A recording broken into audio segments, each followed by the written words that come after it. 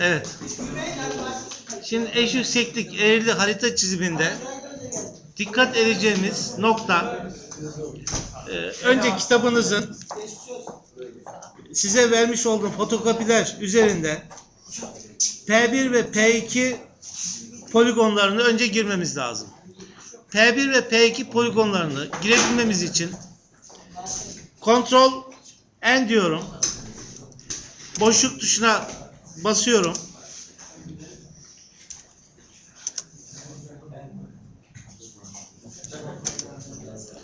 Boşluk tuşuna basıyorum. X, Y, Z verilen koordinata git.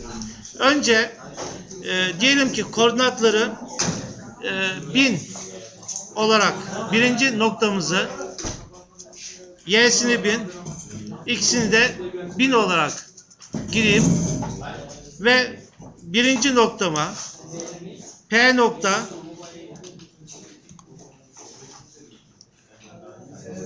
iki olarak giriyorum. Tamam diyorum. Noktamı ne yaptı? Attı. Noktayı görebilmemiz için nokta adları açık tabakasını e, işaret kaldır işaretliyorum. Daha sonra tekrar Ctrl N den DX mesafe açıya giriyorum. İki poligon arasındaki mesafe 136 olarak verilmiş bana. Buraya 136 yazıyorum. Açıyı da şuradan işaretlemek suretiyle yaklaşık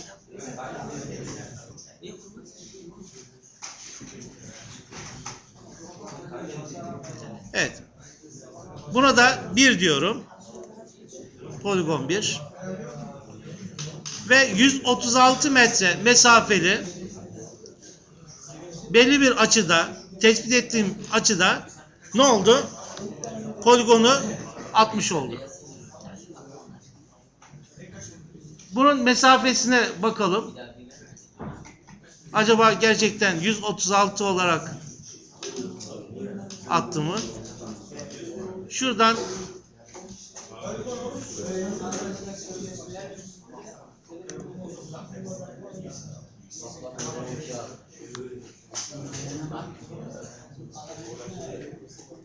nokta adını kapatalım. Büyütelim. Evet 136 olarak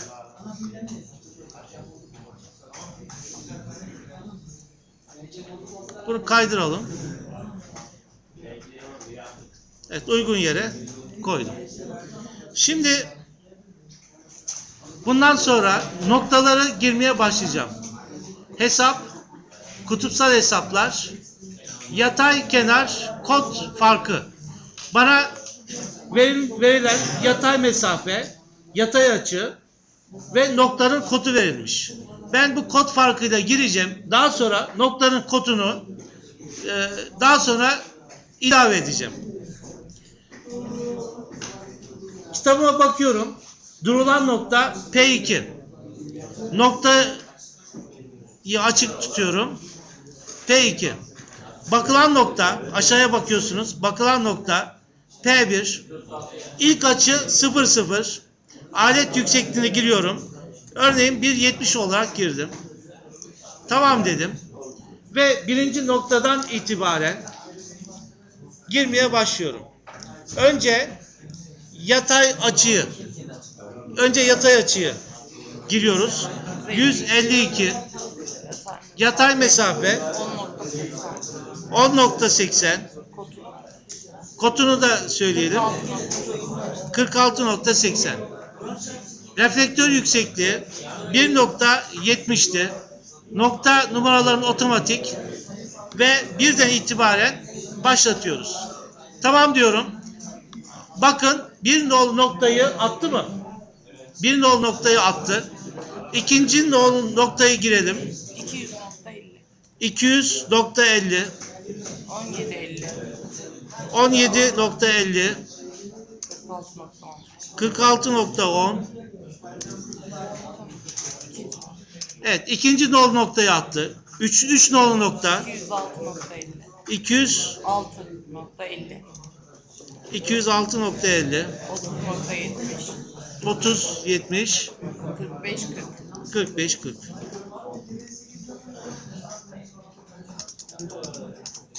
Evet. Ee, 233.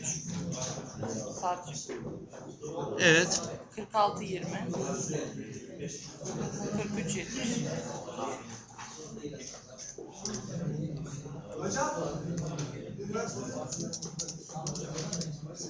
Şimdi bu şekilde nokta numaralarını gireceğim. Ve şu şekilde sonucu çıkaracağız.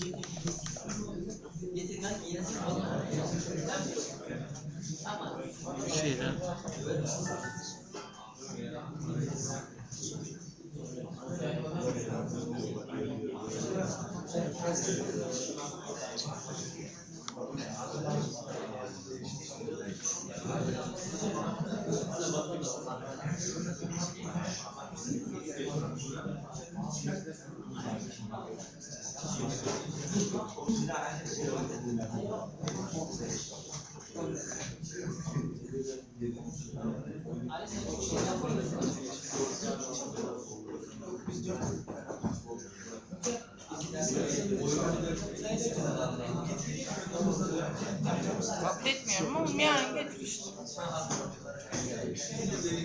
Ben de küserim ama. Beni üzüyorsun. Kaç kere söyledim dinlemiyorsun. Bak Mustafa'ya sor kaç almış.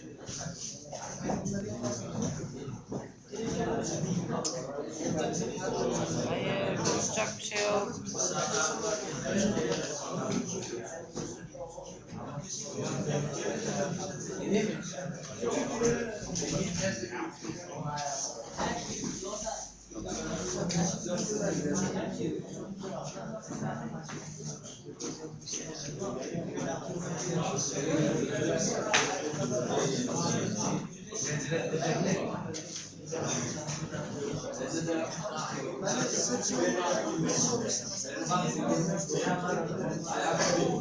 nokta kodu girden girmiyoruz o zaman. Benim alternatifim. Kutsal sınırlardan online.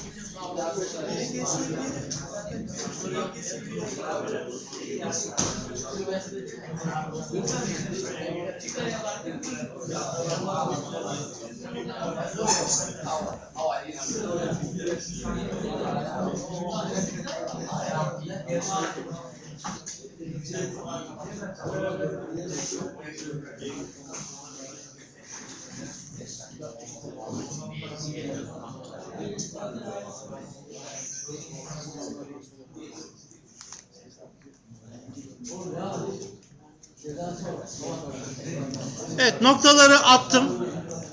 Şu şekilde noktalar çıkacak. Bundan sonra yapacağım işlemleri tek tek elden geçirelim. Söyleyeyim. Noktaları attıktan sonra genel diyorum.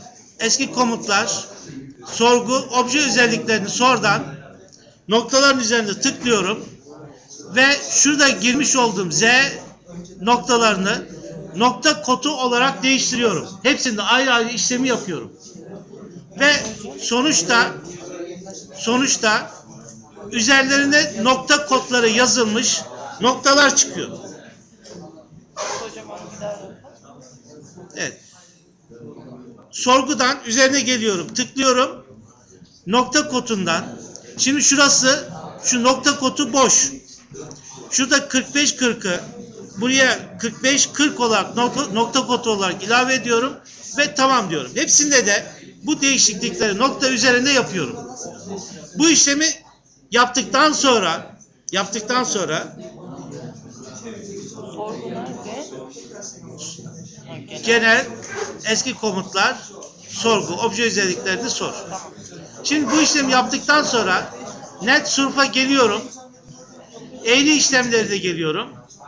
Ve eğri geçir diyorum. Pardon, önce üçgen oluşturma işlemini yapmamız lazım. Önce üçgen oluştur diyorum. Noktalar diyorum. Ve tamam diyorum. Ve tümünü seç diyorum. Sağ tıklıyorum. Karşıma üçgen model 100 nokta seçildiğini ifade ediyor. En kısa üçgen kenarı ve en küçük z değerini burada veriyor.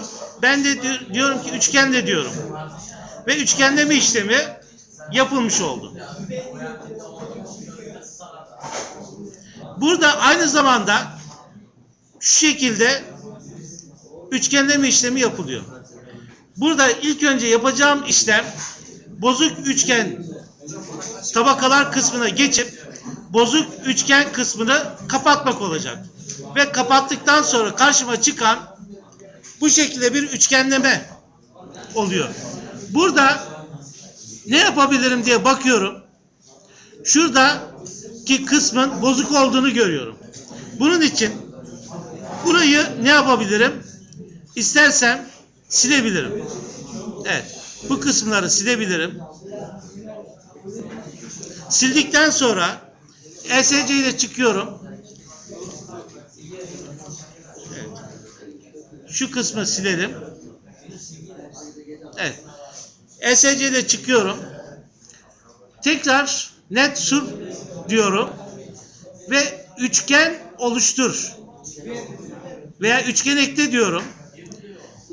Üçgen ekle. Birinci noktayı giriyorum şöyle.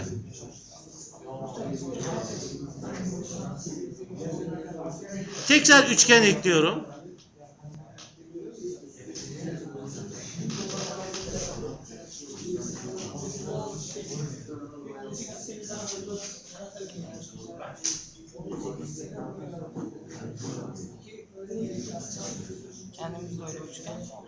Evet. Kendimiz üçgen oluşturabiliriz.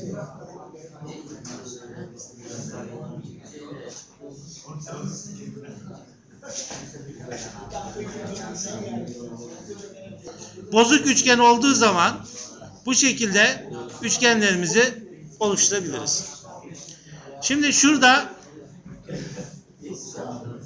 burayı da silip burada da üçgen oluşturabiliriz.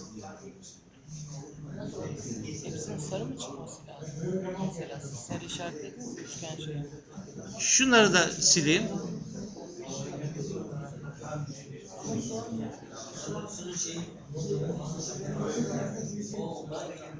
Tekrar net surf diyorum.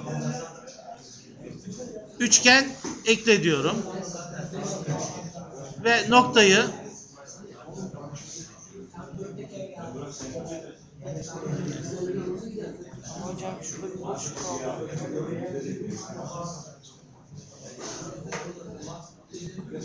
Evet. Üçgenlerimi ekledim. Şuradaki boşluğu da kapatalım. Evet, boşluk tamamlandı. Şimdi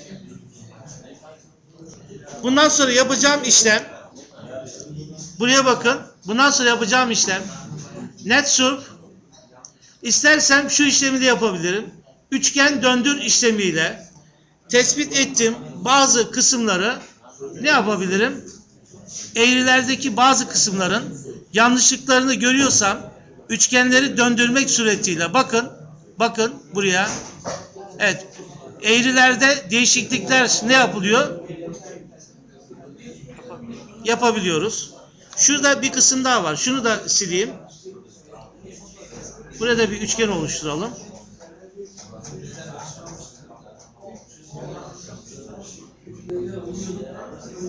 Bunlar tepe olduğu için daha minik minik atmamış mı? Yanlışlık mı var?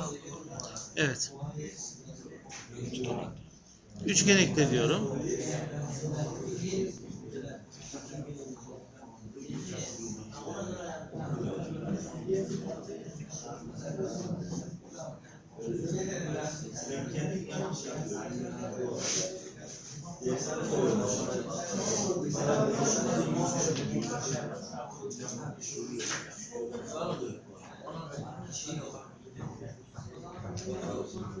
Evet, üçgenlerimi ekledim.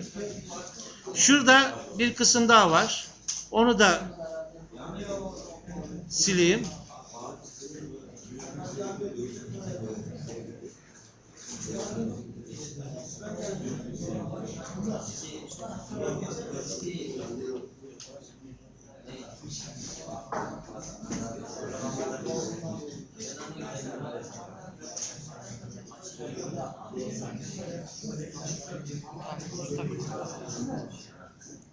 Tekrar üçgen ekle diyorum.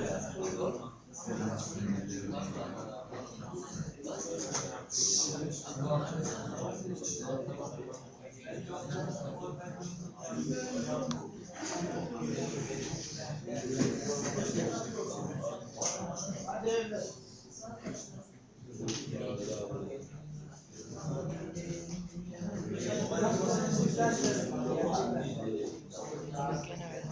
Evet.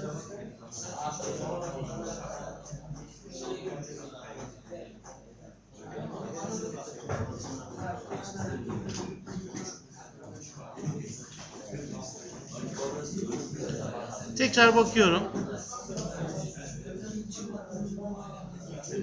Şurada üçgen döndür işlemine bakıyorum.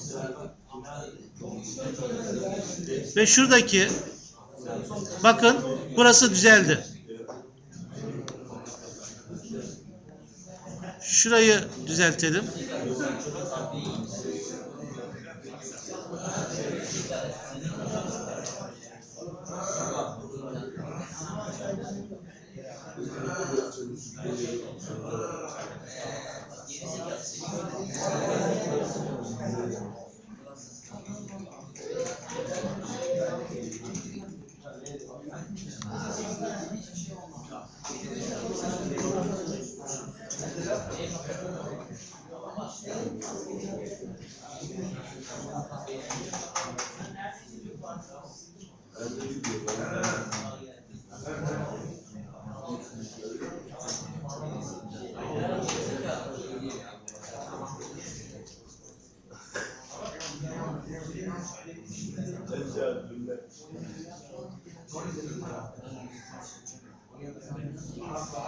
Короче, митинг большой, Саня.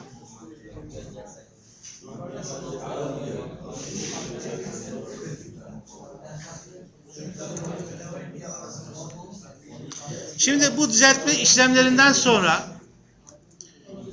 NetSurf diyorum. Eğri işlemleri diyorum. Ve eğri geçiri tümünü seç. Sağ tıklayarak karşıma açılan pencereye tamam demek suretiyle eğrilerin geçirilmesini sağlıyorum. Bakalım eğriler nasıl geçmiş? Üçgen modeli kapatıyorum. Eğri, eğri kısımlarını açıyorum. Bozuk üçgeni kapatıyorum. Ve baktığımda evet bu şekilde bakın üzerinden geçtiği için e, çift işlem yapılmış oldu. Bazı kısımları burada silebilirim.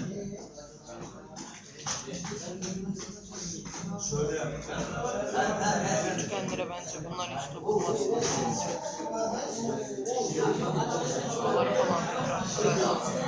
Sonradan ilave yapıldığı için.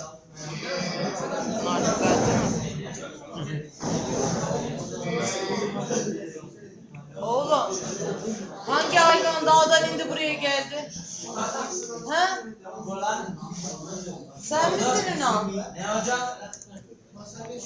Vallahi ben geliyorum.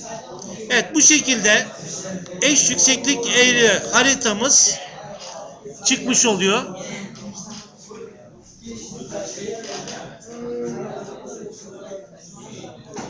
Daha sonra yapacağımız işlem nedir? Evet. O beyazlar kalkınca bu şekilde tepe oluşumu sağlanmış oluyor.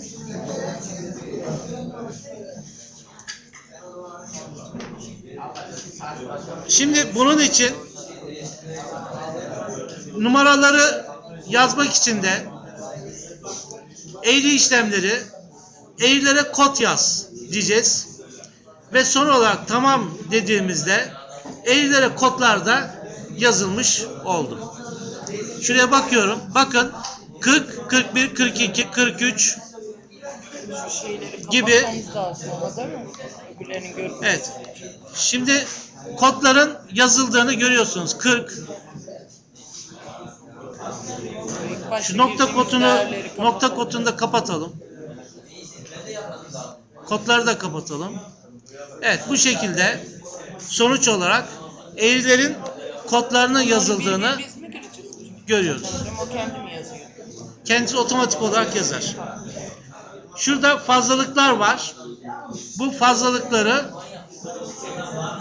üzerinden çift gittiği için daha önce çizdiğim işlemin üzerinden gittiği için e, ikinci bir sefer gitmesinden dolayı bu fazlalıkları silebiliriz. Aynı yerler çıkacaktır zaten.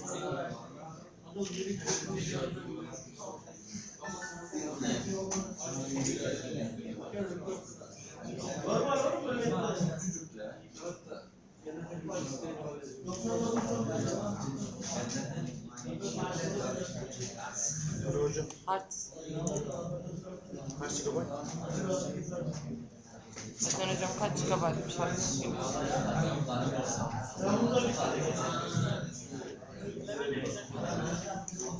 Şu, şu kadarcık şeye neler Yani 150-200 civarında, civarında. Evet bu şekilde istersek düzeltme işlemlerini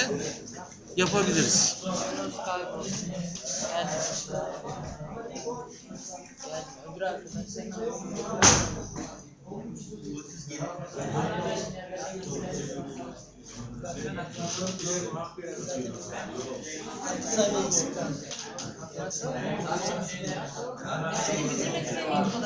Ama.